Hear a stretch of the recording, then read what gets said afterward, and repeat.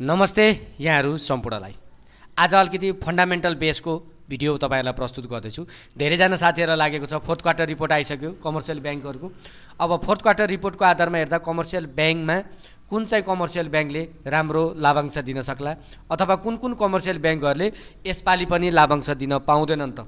त्यो कुरालाई लिएर आजको यो भिडियोमा मैले प्रस्तुत गर्दैछु।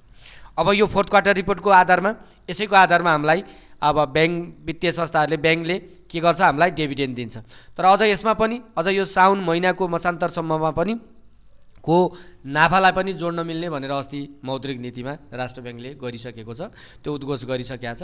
त्यस कारणले गर्दा अहिले यो फोर्थ क्वार्टर रिपोर्टसम्म है असार मसान्तरसम्मको फोर्थ क्वार्टर रिपोर्ट सबैजसो ब्याङ्कहरूको आइसकेका छ।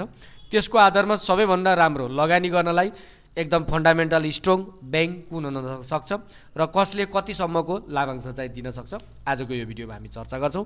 भिडियो अन्तिमसम्म तपाईँले हेर्नु होला है।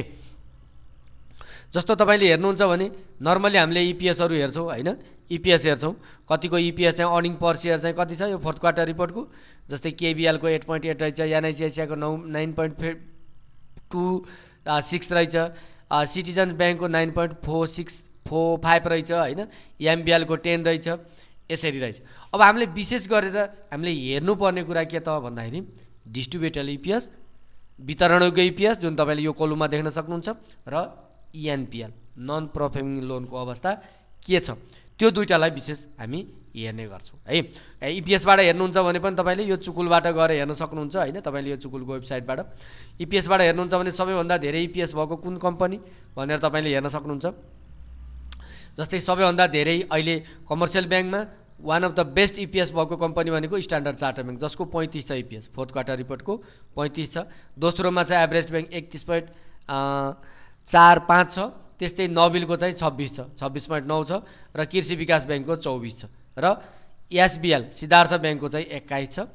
विशेष गरेर हामीले हेर्दाखेरि के गर्नु पऱ्यो त भन्दाखेरि एटलिस्ट पनि बिसको हाराहारीमा भएको। बिसको हाराहारी अथवा त्योभन्दा माथि इपिएस भएको कम्पनी चाहिँ हामीले राम्रो मान्नुपर्छ। त्यो आधारमा हेर्नुहुन्छ भने तपाईँले यहाँसम्म जस्तै प्रभु ब्याङ्कसम्म चाहिँ उन्नाइस पोइन्ट समथिङ छ लगभग उन्नाइसलाई पनि हामी एडजस्ट गर्ने हो भने एक दुई तिन चार पाँच छ सात आठवटा। आठवटा कमर्सियल ब्याङ्क उन्नाइसवटामा आठवटा कमर्सियल ब्याङ्क चाहिँ रहन सक्छ।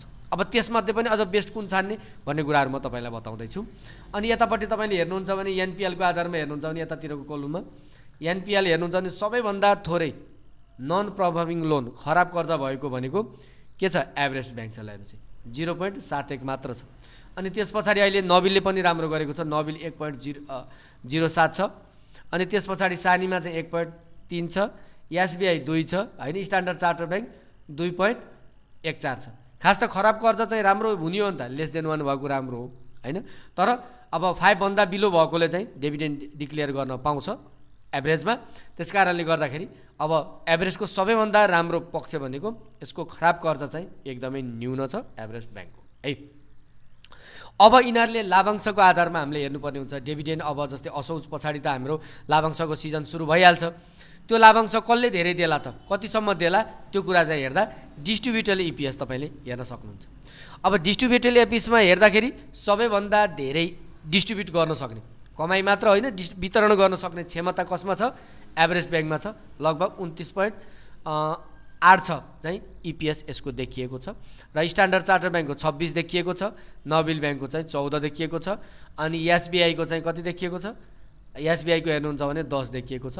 भनेपछि हामीले हेर्दाखेरि चाहिँ अब डिस्ट्रिब्युटर इपिएस एटलिस्ट माथि नै भएको बिसको हाराहारी अथवा त्योभन्दा माथिको हेर्छौँ भने यो दुईवटा एभरेज र स्ट्यान्डर्ड चार्टर ब्याङ्क चाहिँ तपाईँले हेर्न सक्नुहुन्छ। अलिकति घटेको मार्केटमा चाहिँ तपाईँले त्यसलाई चाहिँ राम्रोसँग वाच गर्न सक्नुहुन्छ। र कतिपय कमर्सियल ब्याङ्कहरू जो तपाईँहरूसँग छ र अहिले त्यसले चाहिँ डेभिडेन्डहरू दिन पाउँदैन भन्ने लाग्छ भने तपाईँले हेर्नुहुन्छ भने जस्तो एनआइसिआइसिआईले अहिले डिस्ट्रिब्युट गर्न पाउँदैन। यसले विभिन्न जुन राष्ट्र ब्याङ्कले तोकेको रेसियोहरू मेन्टेन नगरेको कारणले यसपालि एनआइसिआइसिआईले डिभिडेन्ड दिँदैन। तपाईँहरूलाई म क्लियर बताइदिउँ। त्यस्तै एचबिएल हिमालय ब्याङ्कले पनि दिन नपाउने अवस्था छ। त्यस्तै चाहिँ केबिएल कुमारी ब्याङ्कले पनि यी तिनवटाले चाहिँ यसपालि चाहिँ डिभिडेन्ड कमर्सियल ब्याङ्कमा चाहिँ दिन नपाउने अवस्थामा छन्। है अब तपाईँहरूसँग छ डिभिडेन्डकै लागि किन्नु भएको छ भने तपाईँले अहिले पनि अब साटफाट गर्न सक्नुहुन्छ चेन्ज फेन्ज गर्न सक्नुहुन्छ होइन? त्यो तपाईँको इच्छाको कुरा भयो तपाईँको चाहनाको कुरा भयो होइन?